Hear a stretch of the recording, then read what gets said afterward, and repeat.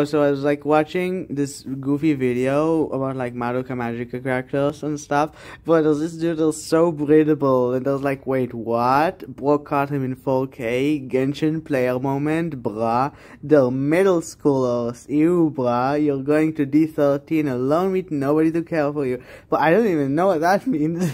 Bro is committing. Get off the stage, you dog.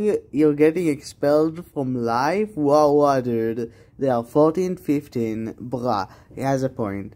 Boo. Rope Max. I don't know what that is. So, they're 12. Based. The, that prison still is so breathable. Of course, your profile picture is a child. It is. it is. Uh, the huh? 14, but fictional, so it's totally fine. What? Crying emoji, crying emoji. Meduka Chinui. I don't know what that means. Uh, amazing. They are 14, 15, and literal children. Okay, now that's weird, not gonna lie. I'm sure that they're minors, and the crowd goes mild. I, are you sure? They're kids. They're kids. What? bro, no, bro.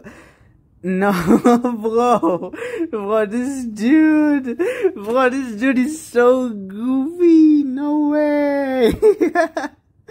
Bro, the crowd is disgusted and astonished at the horrors they've had to witness today in this particular comment section.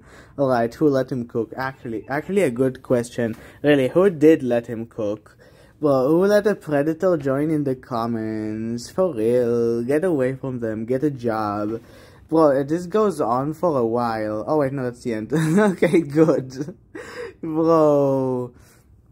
Perfect age for breeding. No way. Bro, age in anime is just a number, so I can say that Anya Forger is breedable too. I don't know who that is. this is so goofy. So goofy.